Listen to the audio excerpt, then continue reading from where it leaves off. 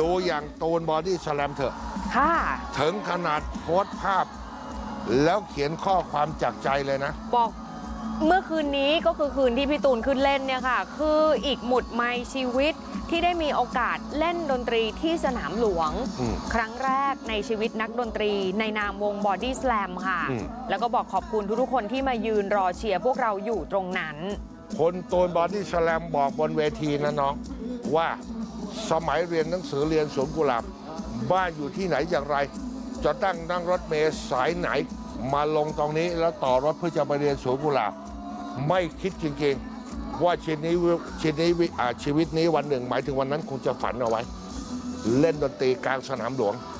แล้วมันก็เกิดขึ้น อะพี่ฟังว่าอย่างนั้นนะค่ะเพราะฉะนั้นเป็นบุตรหมายอันหนึ่งใช่ไหมเป็นหมุดหมายที่สำคัญสำหรับชีวิตเลยครั้งแรกเลยที่เล่นสนามหลวงค่ะไอพี่ส่งคลิปให้อะมีไหมที่ส่งคลิปให้ดูอะเป็นการถ่ายแบบมุมกว้างเห็นผู้คนน่ะนี่ค่ะ